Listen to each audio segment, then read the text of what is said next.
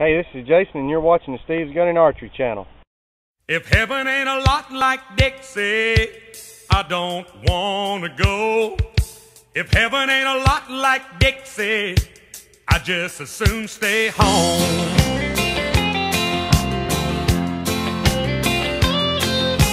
I was one of the chosen few to be. Hey, this is Jason, and I have the new 2011 Hoyt. It's the new CR, CRX 32 axle to axle, the one I'm shooting today. They also have it in a 35 inch axle to axle. One thing they have changed for this bow for 2011 it's called the Stealth Shelf. Silence is a rubber piece they have put in here to help with the air contact against the riser.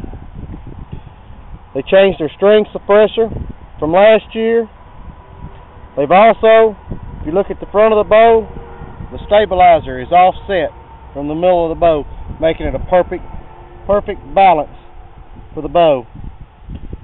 This bow, like I said, is 32 inches axle to axle, shooting 323 foot per second.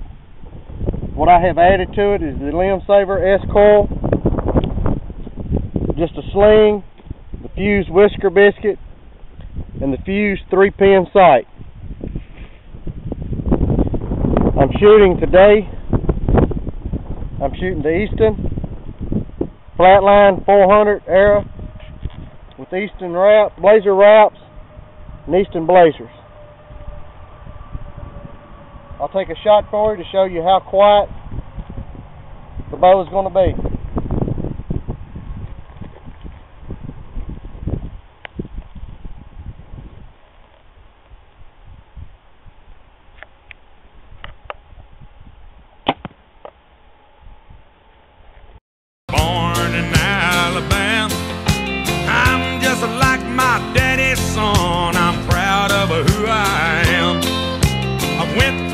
Lot of good women and shook old Jim Beam's hand. If I never see the pearly gates, I will walk through the promised land. If heaven ain't a lot like Dixie, I don't